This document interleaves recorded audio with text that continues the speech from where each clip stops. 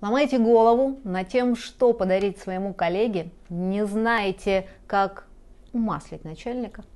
Я вам сейчас расскажу про интересную идею для подарка. Смотрите, казалось бы, простой деревянный пенал, но, внимание, легким движением руки и деревянный пенал превращается в красивую и оригинальную подставку, где вы находите красивую, удобную, а главное качественную ручку.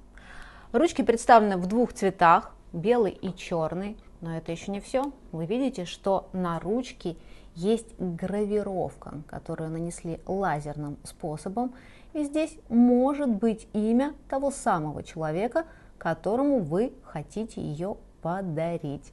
Ручки представлены в двух цветах, как я сказала, черный и белый. У ручки поворотный механизм, который позволяет нам, ну, скажем так, извлечь стержень для того, чтобы уже подписывать важные документы. В руке чувствуется вес этой ручки, то есть это не легкий какой-то пластик. Очень удобно ложиться в руку, не только чтобы подписать документ, но, я думаю, и написать длинное послание Жаль, что эпистолярный жанр у нас нынче не популярен.